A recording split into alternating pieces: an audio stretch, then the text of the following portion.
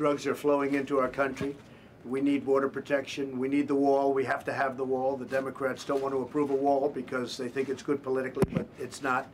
You're looking at what's happening in California with sanctuary cities where the people are really uh, going the opposite way. They don't want sanctuary cities, and there's a little bit of a revolution going on in California. So it's uh, people are really appreciating the work that you're doing on stopping drugs from pouring into this country. And we can't emphasize enough, not only drugs. The drugs are a big factor. But you look at human trafficking is worse than it's ever been in the history of this world. And who would think in its modern day age? And they're using very sophisticated equipment, and they use the internet better than practically anybody uses the internet. So it really is a big problem. But uh, I just want to thank everybody. That was an incredible education. And we are behind you all the way. Thank you very much.